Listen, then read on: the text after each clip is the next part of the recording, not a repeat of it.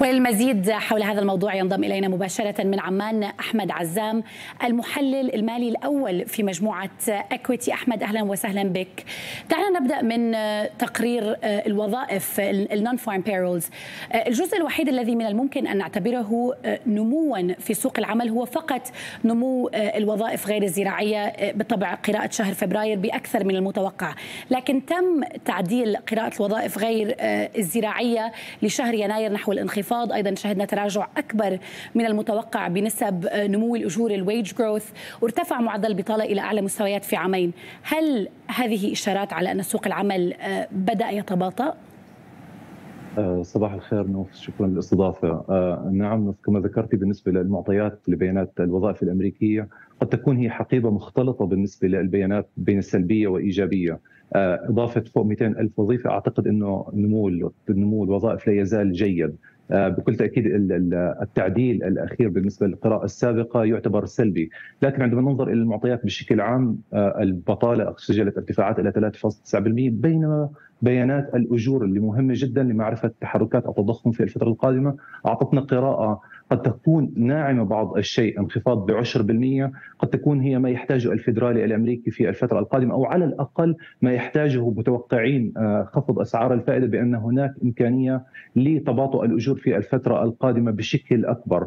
المعطيات بشكل عام قد تكون مختلطة بين السلبيه وإيجابية مما قد يعطي بعض بعض الحذر عدم اليقين ما ذكره جيرون باول في الفترة الماضية قد يحتاج الثقة بالنسبة للبيانات البيانات الاقتصادية القادمة قد يحتاج أيضا في الفترة القادمة. الثقة مهمة جدا. لذلك قد يتجه الفدرالي الأمريكي إلى الوقت متابعة البيانات البيانات الاقتصادية القادمة. يوم الثلاثاء عندنا بيانات التضخم في الولايات المتحدة الأمريكية. لو جاءت كما هي متوقعة كالسابقة 3.1% قد لن يكون هناك تغيير على حدة تحركات الفدرالي الأمريكي. هل هل هل يترجم هل هل يترجم انخفاض معدل نمو الوظائف إلى انخفاض متوقع في معدلات التضخم؟ أعتقد نوف بالنسبة لبيانات الوظائف بشكل عام هو لاج إنديكيتور هو مؤشر بطيء ببعض الشيء. قد يكون ينعكس على الفوائد المرتفعة بعد فترة زمنية. لذلك لا, لا نستطيع الحكم على بيانات الوظائف لوحدها لتوجه الفدرالي الأمريكي. هي تعطي المشاعر بالنسبة للأسواق تغير المشاعر تغير توجهات الأسواق لكن لن تكون بشكل عام هي مغير أساسي. لكن عندما ننظر لها على ما أعتقد نوف هي حتى الآن جيدة فوق 200 ألف وظيفة قراءات لحتى الآن تعتبر ممتازه بالنسبة لسوق العمل بالنسبة للولايات المتحدة الأمريكية، لا أعتقد أن الفدرالي الأمريكي سوف يأخذ الرقم بالنسبة لبيانات الوظائف لتغيير توجهاته في الفترة القادمة، نبرة أعضاء الفدرالي الأمريكي غالبا ما كانت تتجه إلى أرقام التضخم، البحث عن أرقام التضخم والبحث عن تباطؤه، لذلك بناء على الأرقام الأخيرة أعتقد أن الفدرالي الأمريكي قد يحتاج الوقت خاصة مع النمو الاقتصادي. 3.2% في القراءة الأخيرة. تعطي الفدرالي الأمريكي بعض الوقت بعض الأريحية لمتابعة سياسته النقدية وتأثير تجديد السياسة النقدية، قد يكون كلمة السر في الفترة القادمة في الاجتماع القادم الميزانية العمومية. عندما عندما نجد الميزانية العمومية وتخفيض مشتريات السندات في الولايات المتحدة الأمريكية هي بحد ذاتها تجديد للسياسة النقدية، لا أعتقد أن الفدرالي الأمريكي سيتجه للتخفيض الميزانية العمومية بشكل أقوى، قد يكون هناك إيضاحات كما ذكر جيرون باول في اجتماع شهر ثلاثة بشكل أكبر حول حول ما قد يتجه في المستقبل بالنسبة للميزانية العمومية، لكن هي أداة قد يستخدمها الفدرالي الأمريكي للتجديد أو موازنة حتى تجديد السياسة النقدية في الفترة القادمة. لو تم تخفيض الفائدة الأمريكية في شهر ستة. قد يتجه لتجديد السياسة النقدية بالميزانية العمومية وهنا أقصد بزيادة مبيعات السندات الأمريكية. طيب البنك المركزي الأوروبي ال ECB من ناحية أخرى يقاوم إعطاء السوق أي إشارة حول يعني كيف سيمضي قدما بشأن أسعار الفائدة. لكن إذا ما نظرنا إلى المراجعة الهبوطية لمعدلات التضخم في منطقة اليورو لهذا العام من 2.7% إلى 2.3% كيف نترجم هذه المراجعة على سياسة ال ECB النقدية وأيضا يعني ما تأثير ذلك على اليورو؟ يمكن نوف بالنسبة للقراءات الأخيرة بالنسبة للتضخم يمكن أفضل التوقعات في العام الماضي لم تكن تتوقع أن يكون انخفاضات بالنسبة للتضخم في الفترة الأخيرة. حتى إيطاليا كنت ألاحظ التضخم فيها 0.75% يعني أرقام حتى الآن تعتبر جيد جدا.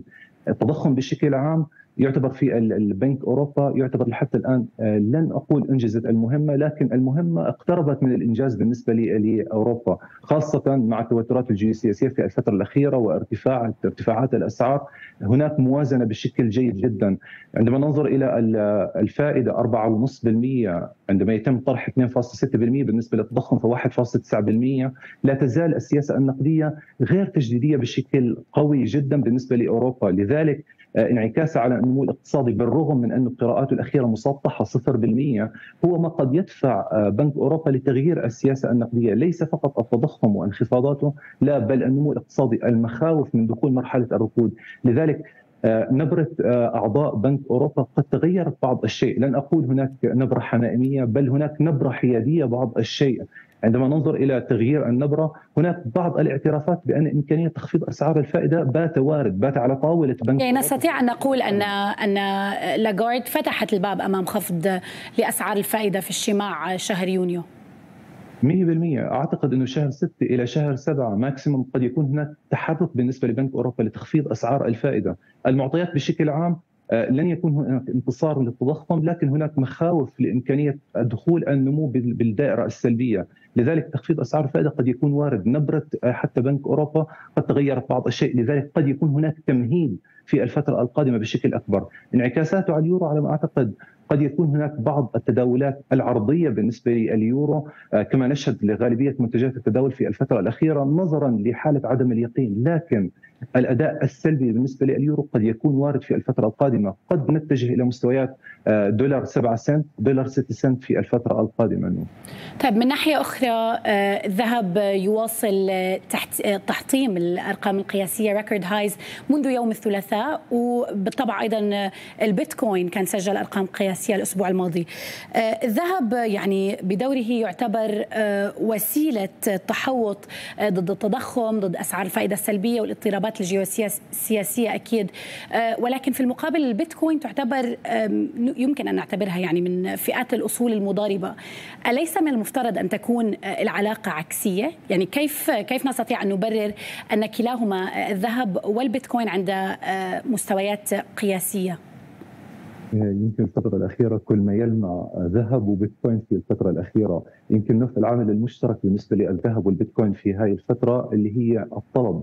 الطلب العالي آه، البنوك المركزية اتجهت لشراءات الذهب آه، صناديق الاستثمار المتداولة مع طرحها كانت قد سجلت ارتفاعات في الطلب. التبني المؤسسي بالنسبة للبيتكوين كان واضح في الفترة الأخيرة حتى الطلب الطلب عليه أكثر من حتى التعدين في الفترة الماضية، فبالتالي قد يعطينا إشارات بأن الطلب العالي بالنسبة للذهب من ناحية والبيتكوين من ناحية أخرى قد دفع الاستثمارات أو دفع الشراءات، من ناحية أخرى آه، أسعار الفائدة، تخفيض أسعار الفائدة قد تكون هي مؤثر بشكل كبير على الذهب والبيتكوين لتخارج الاستثمارات من السندات واتجاهاتها للشراءات في آه، في آه، استثمارات أخرى، الذهب والبيتكوين على طليعتها قد تكون عام 2024 نوف بشكل عام على المدى الطويل. قد تكون استفادة بشكل أكبر بالنسبة للذهب من ناحية والبيتكوين من ناحية أخرى، تحديدا البيتكوين في شهر أربعة عن البيتكوين هالفينج أو تنصيف مكافأة الأرباح للمعدنين قد تعني بأن إمكانية العرض قد ينخفض إلى النصف بالمقابل الطلب العالي من صناديق الاستثمار هو قوي جدا فقد يعطي طلب بشكل أكبر على البيتكوين خاصة عندما ننظر إلى التكاليف. تكاليف البيتكوين كانت ما تقارب ال ألف في الفترة الماضية. عندما ننظر إلى التنصيف قد يعني أن مستويات ال ألف قد تكون هي دعم قوي بالنسبة للبيتكوين في الفترة القادمة. لذلك ريكورد جديد أو آه، إيجادات لأسعار أعلى في الفترة القادمة بالنسبة للبيتكوين والذهب وارده جدا مع المعطيات الحالية. آه، أحمد كنا تحدثنا آه، قبل آه، قليل في نشره أن اليابان استطاعت أن تتجنب الدخول في ركود. التقديرات كانت تشير إلى انكماش بواقع 0.4% استطاعت أن تسجل نمو بنفس هذه النسبة. هل في جابان بنك اليابان سيتخلص من السياسة النقدية التيسيرية ويتجه إلى رفع أسعار الفائدة؟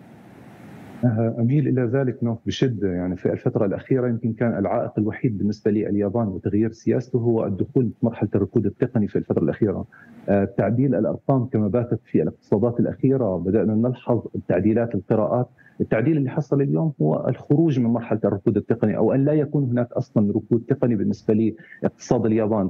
يعطينا دافع بأن إمكانية تغيير السياسة النقدية في الفترة القادمة بالنسبة لليابان وتخارجهم من الفائدة السلبية إلى الإيجابية قد يكون آه، وارد في شهر أربعة في اجتماع شهر أربعة بالنسبة لبنك اليابان خاصة بأنه الين الياباني كان قد سجل ارتفاعات إلى مستويات 153 اليوم على مستويات ما يقارب 148 149 بالنسبة للين الياباني مقابل الدولار الأمريكي. فقد يكون هناك ليس فقط توجهات تغيير السياسة النقدية والمحافظة على الاقتصاد لا بل هناك إمكانية لدعم حتى الين الياباني بالنسبة لبنك اليابان. لذلك التخارج قد أعتقد إنه وارد بالنسبة لبنك اليابان خاصة بأن الأجور آه، مرتفعة لحتى الآن في بنك اليابان مما قد يعطي بأن إمكانية أرقام التضخم قد تسجل بعض الارتفاعات في الفترة القادمة وهذا ما يخشاه وما قد يعطي إشارات بالنسبة لبنك اليابان بأن التضخم هو تضخم محلي في بنك في اليابان في اقتصاد اليابان، لذلك التخارج على ما أعتقد قريب بالنسبة لبنك اليابان خاصة مع تخارجهم آه، أو حتى مع تغييرهم منحنى عوائد السندات فالاداء الوحيده أو الوسيلة الوحيدة بالنسبة للبنك اليابان ليس فقط التصريحات وتغيير النبرة لأنه قد شهدناها في الفترة الأخيرة، لا بل هي تغيير آه، السياسة النقدية. أود أن أنوه هنا آه، نوف بأن تغيير السياسة النقدية بالنسبة لبنك اليابان أو تجديد السياسة النقدية وعمليات رفع أسعار الفائدة لن يكون بالقوة التي حصلت في الاقتصادات آه، في الاقتصادات العالمية. قد يكون هناك توجه لتغيير السياسة النقدية خروجهم إلى منطقة الصفر. ثم التخارج إلى عشر عشر بالمية فلذلك لن يكون هناك تخارج بشكل كبير بالنسبة لبنك اليابان خاصة مع مع إمكانية ارتفاعات الأسهم الأسهم في الفترة الماضية أو مع ارتفاعاتها حتى وتغيير بعض البوليسي أو تغيير بعض القواعد بالنسبة آه، لليابان خاصة هنا حوكمه الشركات قد يعطي إمكانية لارتفاعات للأسهم اليابانية في الفترة القادمة، لذلك التغيير على ما أعتقد بالنسبة للسياسة النقدية قد يكون وارد بالنسبة لبنك اليابان وقد يكون هناك تسجيل ارتفاعات للين الياباني خاصة مع انحراف السياسة النقدية بين البنوك في الفترة القادمة. أحمد عزام المحلل المالي الأول في مجموعة أكويتي كنت معنا من عمان شكرا جزيلا لك.